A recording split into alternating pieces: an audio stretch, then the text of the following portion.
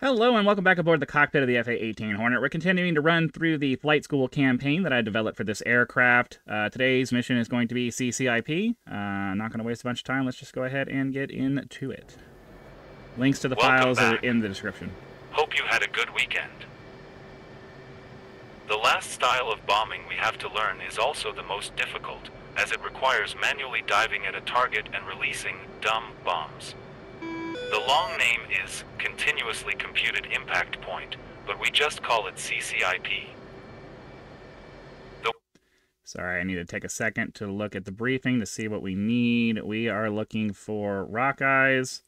So times two rock eyes, times two Mark 82s, and times two... Oh, there's a bunch of bombs on here. The way it works is by projecting a crosshair on the ground to show you where the bomb will hit if you release it at that point. It does this by computing your angle to the ground, airspeed, and numerous other factors. All you really need to know is put crosshair on target, press button. While it sounds simple here on the ground, it requires a bit of technique to master it. You need to maintain a lot of altitude to give yourself room to dive down and release your weapon before you descend to the point where enemy anti-aircraft guns can shoot you down. You also want to stay high enough that you have time to flare off any heat-seeking missiles that units nearby may have, including shoulder-fired variants you won't see until there's smoke heading toward you. As a result, we're going to head out to the range and practice the technique for this. Since we only have limited capacity, we'll forego with the seat game practice for this flight what I need and just do. focus on Um, dropping bombs. Go ahead and get This is gonna be equipped for the mission loadout.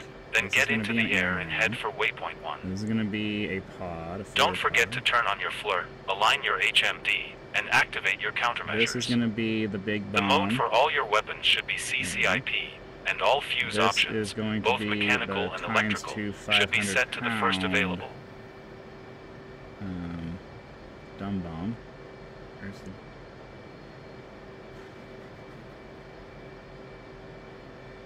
Uh,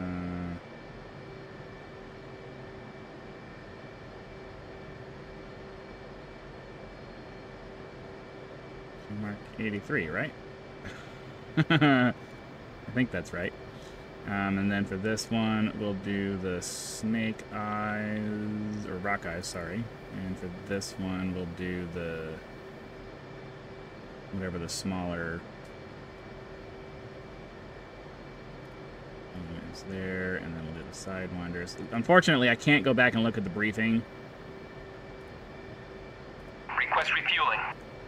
Let me just double check and make sure that's correct. Um, okay. Rock Eyes, 500 pounds. Mark 83, 1,000 pound, then a 2,000. I think that's correct. So we're just waiting for this to all pop up. Okay, Rock Eyes. We're going to do mo mode CCIP fuse primary. All these are going to be the same. CCI, CCIP fuse instant. Mode CCIP fuse nose. Nose and CCIP. Just double check and make sure I didn't screw these up. Nose. I want nose on all of those. Alright, cool. And then I believe he told me to go ahead and get in the air and start heading to waypoint one, right? Countermeasures.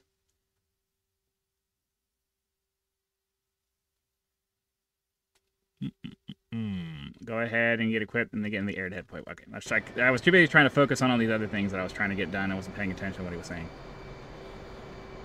So, you know, it is what it is.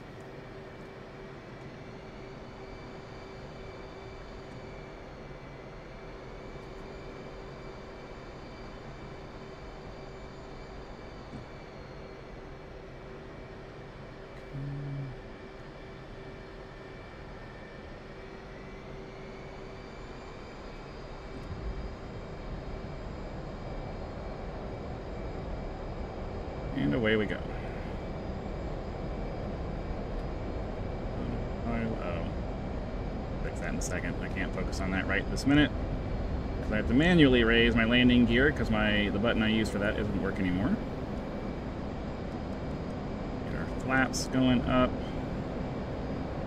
And we can get this set up to our SA page. And waypoint navigation, waypoint one, sequence. Couple the autopilot to that. Pull our throttle back to the point where we're not using afterburner anymore. Get this set up, get this set up for our EW page, just so we can keep an eye on that. Times 10 uh, moving forward. Okay, let's talk about how we execute our bombing. First, set your master arm in air-ground mode, then select the Mark 83 from the store's page. 1,000 pound bombs are a good option for heavily armored vehicles such as tanks.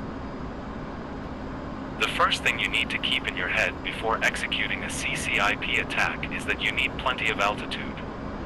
You need to be at least 10,000 feet to give yourself room, but preferably you want to be closer to 15,000 if weather allows.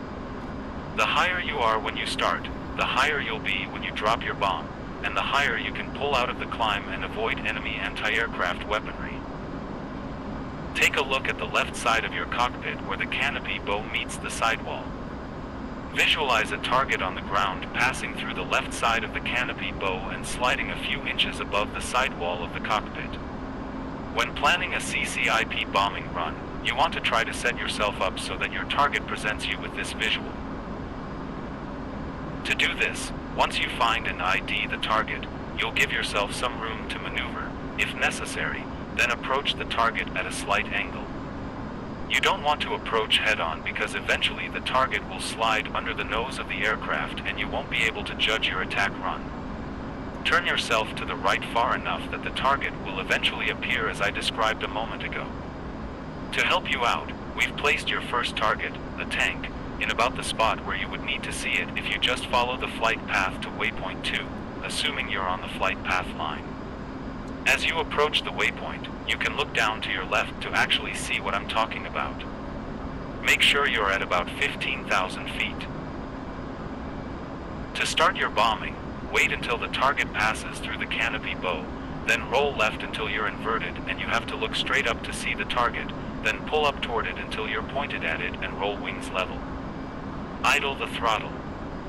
Once you're settled, wait for an X-shaped crosshair to appear at the bottom of the steering line, at which point you can steer yourself until the X is right on the tank and then press the weapon release button to send it. I have my volume control stuck in my The face last now. part is the U-shaped icon, which is there to help prevent you from getting away. damaged by your own explosions.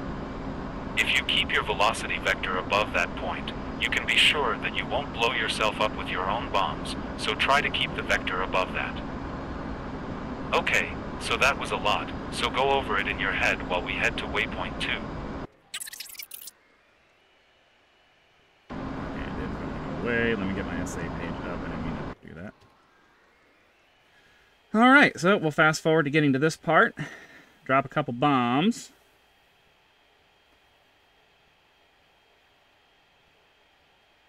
Do do do do do do do do do do do do do do.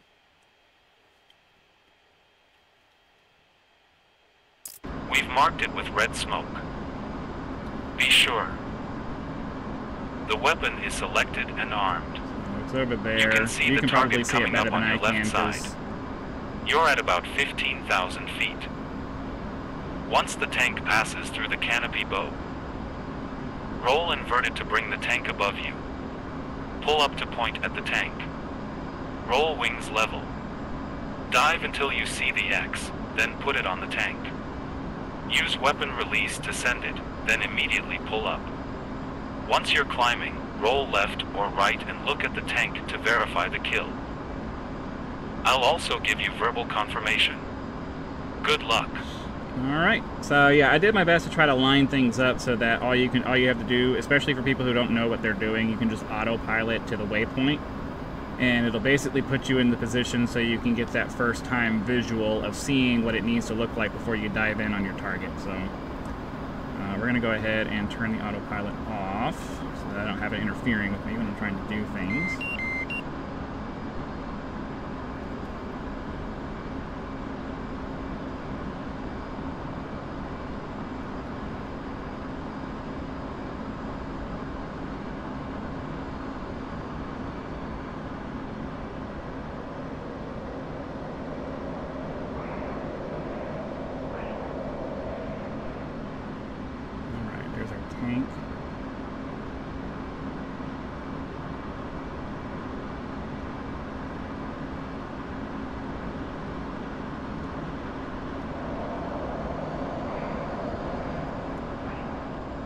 Excellent. If you got it with your first bomb, we have another tank you can hit, which is now marked with another red smoke. Once that's dealt with, or you don't have any more Mark 83s, look for the orange smoke where we've placed a group of trucks. Approach them in exactly the same way, except this time use your Mark 20 rockeye, which is a sort of cluster munition that spreads out over a large area. I'm This gonna, is great I for just dropped the other infantry or unarmored feel like messing vehicles like trucks. You don't We've have given to you do the two to practice with, so make a couple of runs on the trucks and do your best to take them all out. Right, there's our orange smoke there. Let's get some, uh, let's get some altitude. Maybe, if I can actually pay attention. Just trying to speed things up a little bit, because, uh, it can get kind of boring just watching this stuff, watching us fly around.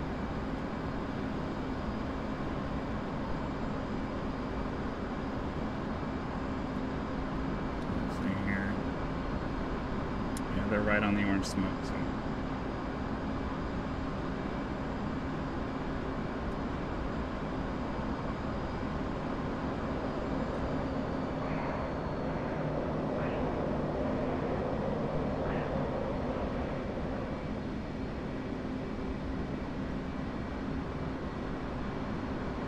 Come on.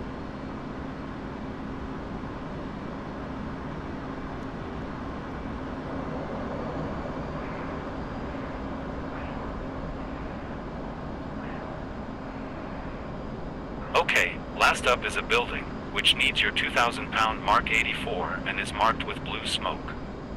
CCIP bombing is always the same, so do what you just did, just this time use the big boy. Okay. Up and around we go. Just gonna do it from the right this time because I don't feel like going all the way around to try to figure out getting it to the left.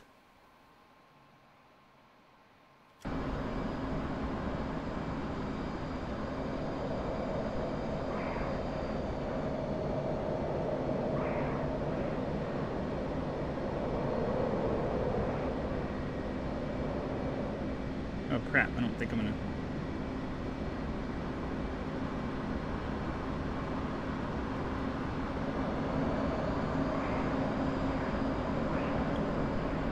Alright, that's manual bombing.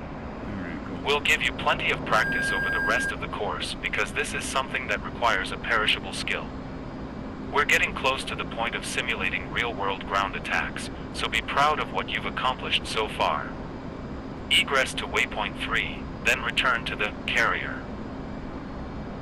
Okay, we're gonna switch over to the HSI so that we can use navigation related stuff.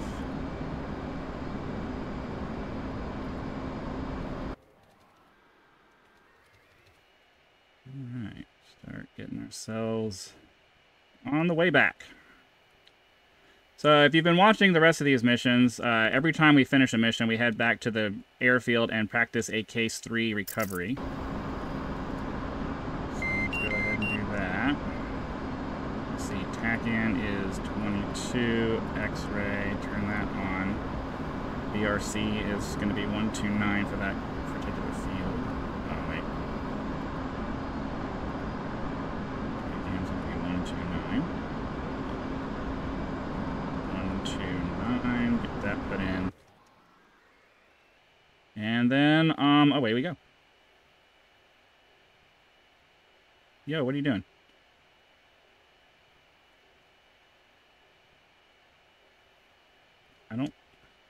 What's going on here? Okay, no. I have a really wicked roll to the left. Or to the right, sorry. A really wicked roll to the left, right. Okay, dude. 50 miles. Report inbound. At 10 miles, you should be at 2,000 foot AGL and 250 knots.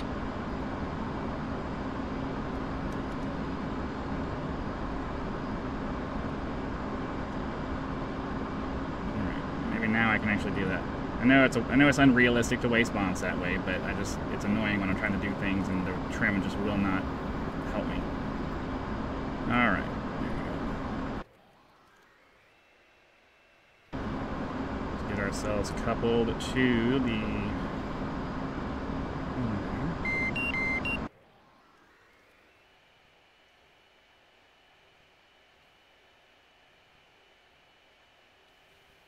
Doot doot doo. Make sure our course line shows up. I always forget that you can do that. Autopilot will set you up to the course line there. Okay, start slowing down. All of our autopilots turned off. Our radar altitude, uh, radar altimeter turned on, so we can do that.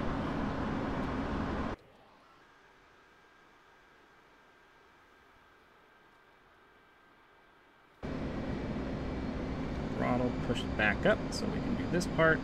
And now we're just going to do the carrier landing.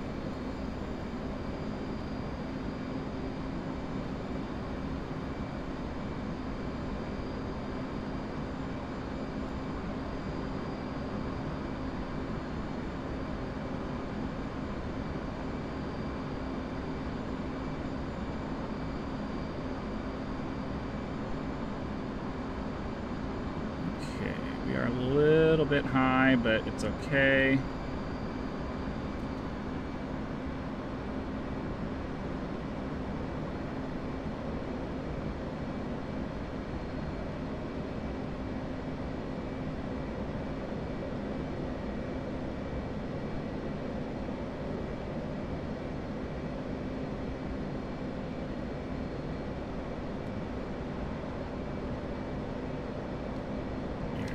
Down.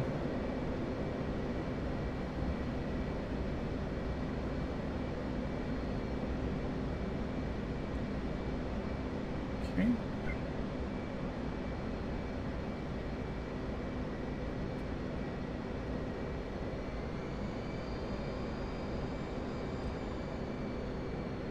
Still need to bring it. Well, I don't know. The problem is, is that uh, the rolling ground here makes it to where trying to uh, trying to use 600 and 600 feet as your reference doesn't really work because it's just constantly going up and down.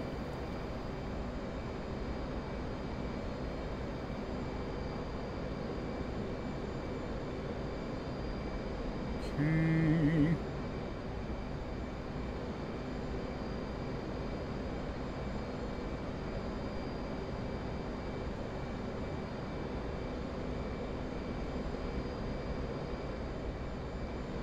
Just gonna do manual throttle for this because I don't know. I seem I find it a little bit easier than trying to move move the velocity vector around with the stick.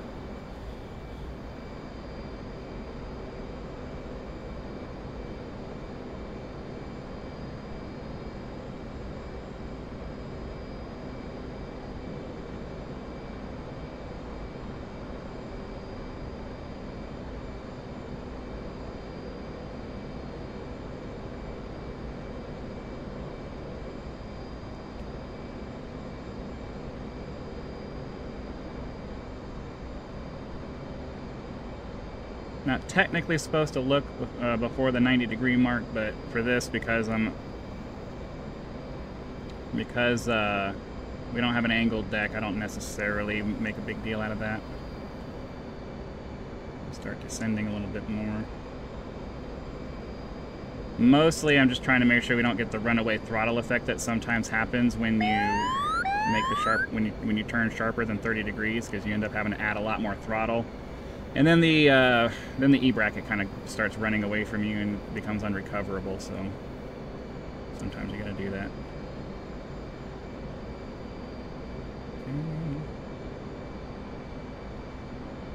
And this should be pretty good. Little high, but not bad. Good trap.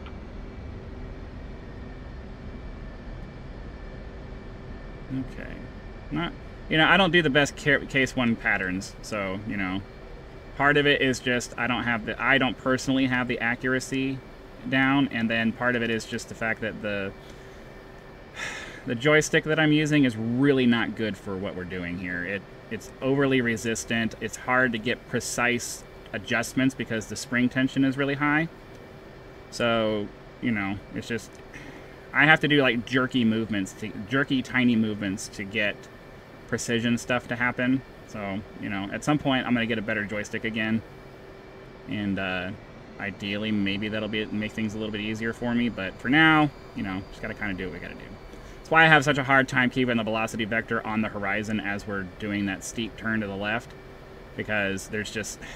There's a very there's a very small window of being able to just make slight adjustments in your roll to the left and right while you're pulling back on the stick. And the tension on this Extreme 3D Pro is just, you know, it's high enough that it makes that very difficult to do. So that's part of it, but a lot of it is just, you know, I don't practice it enough. So lack of practice combined with having to fight the hardware creates that situation. But anyways, um, that's going to do it for today's episode. We are going to go ahead and finish do, going through all of this and verifying that it advances to the next mission, but that's uh, that's it for the mission. So hopefully you guys enjoyed the video. Hit the like button, subscribe to help us reach 10,000 subscribers. Join as a member for early access to videos, among other perks, or you can just leave YouTube's version of a tip with the Good thanks job. button. Uh, or there's also a PayPal link in the description if you'd like to go outside of the YouTube ecosystem to uh, contribute to the channel. So again, thank you very much for watching. Be sure to come back for the next episode, and I'll see you then.